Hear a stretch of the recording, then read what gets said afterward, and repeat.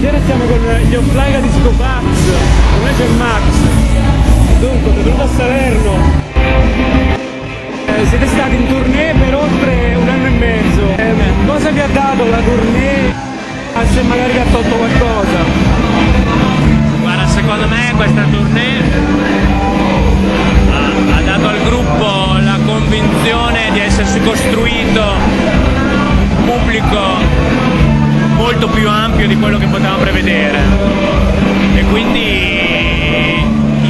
pochissimo tempo e con solo due dischi ci siamo costruiti un seguito che ancora adesso facciamo fatica a credere di avere così tante persone che ci ascoltano, che ci seguono, che comprano i nostri dischi.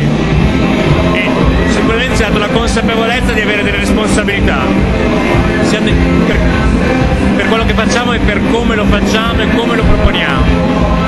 Tolto credo che non ci abbia tolto assolutamente niente.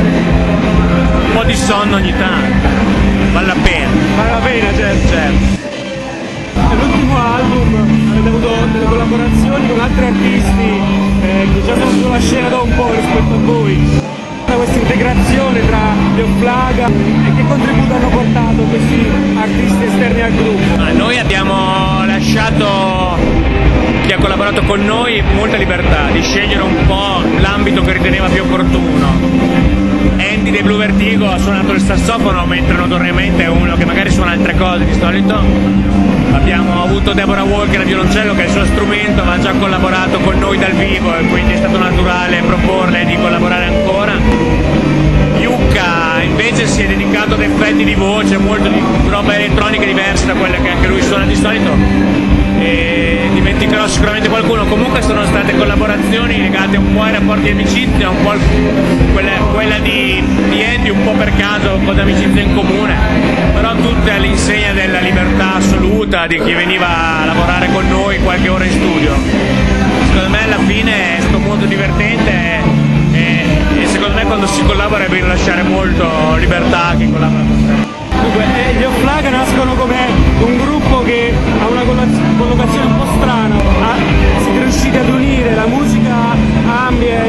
comunque elettronica con eh, eh, testi di impegno sociale e direi anche di cronaca. Com'è, com'è nato il progetto?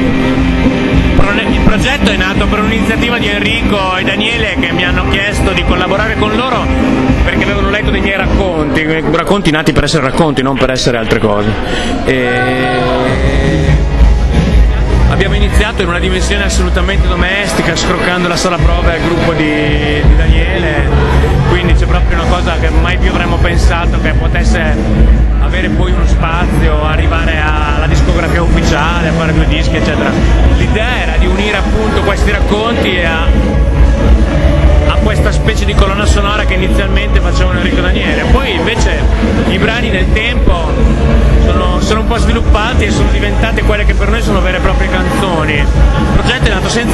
senza aspettative, secondo me ci ha fatto buon gioco, nel senso che quando nasci sapendo di fare una cosa un po' strana, eh, che noi avevamo anche il dubbio che non sarebbe nemmeno piacevole, una cosa più per noi che non per, perché dovesse trovare un pubblico. Poi è successo che il pubblico se l'è trovato ancora prima che noi lo cercassimo grazie anche ai blog, a un po' di cose e a un certo punto ci siamo trovati con, con un disco da fare senza neanche aver ancora portato il demo e le etichette.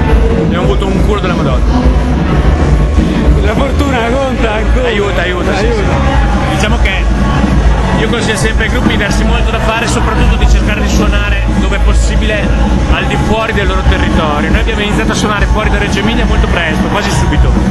E credo che confrontarci con un pubblico che non era quello dei nostri amici ci ha aiutato molto a trovarci un po' di spazio, un po' di attenzione, perché di solito finisce che un gruppo nuovo suona nei 5-6 posti del suo territorio, poi ci risuona un'altra volta, poi si rompe anche i coglioni sulla sempre stessi posti, quindi bisogna sempre cercarsi più importante spazio il fuori. confronto con un pubblico diverso. È difficile, ci vuole un po' di fortuna, bisogna sbattersi di più, però si cresce e si cerca di costruirsi il proprio pubblico anche al di fuori della propria ricerca dei propri amici.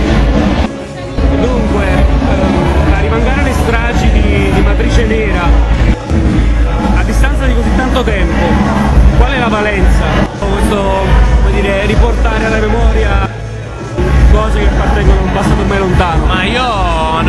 che la stragi di Bologna o le stragi fasciste appartengono a un passato ormai lontano, lontano un cazzo, nel senso che sono state un'epoca del, di questo paese, un'epoca che noi non conosciamo perché a scuola si studia altro e c'è molta confusione.